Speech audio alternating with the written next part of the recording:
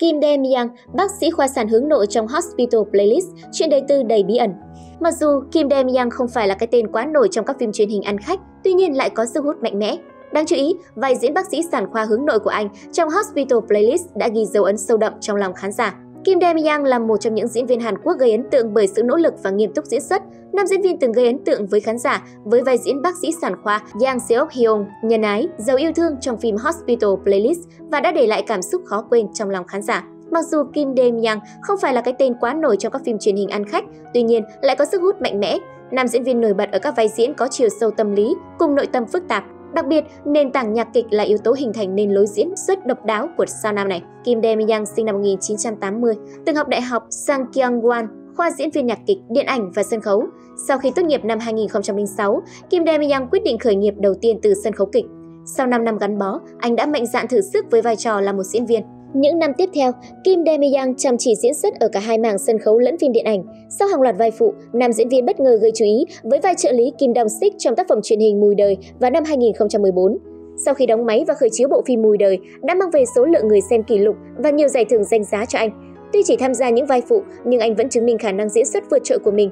Anh còn mang về cho mình danh hiệu diễn viên xuất sắc tại lễ trao giải thưởng phim truyền hình Hàn Quốc lần thứ 8. Vào năm 2016, Kim Dae Myung tiếp tục xuất hiện với vai chính trong Tiếng gọi con tim. Vai diễn trong bộ phim này đã mang về cho Kim Dae Myung giải hiện tượng tại KBS Drama Awards lần thứ 15. Đến năm 2017, nam diễn viên tiếp tục thành công với vai phụ trong phim điện ảnh Dâu xanh. Chặng đường hơn một thập kỷ về diễn xuất đã mang về cho anh những giải thưởng đáng kể nhưng chưa thể vươn lên hàng ngôi sao lớn. Tuy vậy, anh miệt mài, kiên nhẫn diễn xuất để thỏa mãn đam mê chứ không phải vì danh tiếng. Đáng chú ý, vai diễn bác sĩ sản khoa sản Yang Seok Hyun của Kim Dae Myung trong Hospital Playlist đã ghi dấu ấn sâu đậm trong lòng khán giả. Bộ phim còn có sự góp mặt của nữ diễn viên Jeo Mido, Jo Jang Suk, Jang Kyo Hu và Yu Yeon Seo. Vai diễn của anh là một trong năm diễn viên chính trong phim. Nhân vật Yang Seok Hyun được xem là nốt trầm lặng lẽ của nhóm F5 bạn thân bởi tính cách hướng nội khác hẳn thành viên còn lại.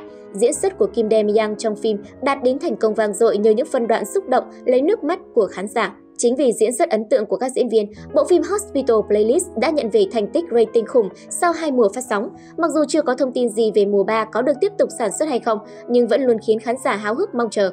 Mặc dù ngoại hình hiện tại có vẻ mũm mĩm, đáng yêu, nhưng ngoại hình trong quá khứ của Kim Dae Myung từng khiến không ít dân tình bất ngờ vì quá khác xa. Nếu hiện tại Kim Dae Myung có ngoại hình béo mập và khá mũm mĩm thì ngày xưa nam diễn viên đích thị là một nam thần.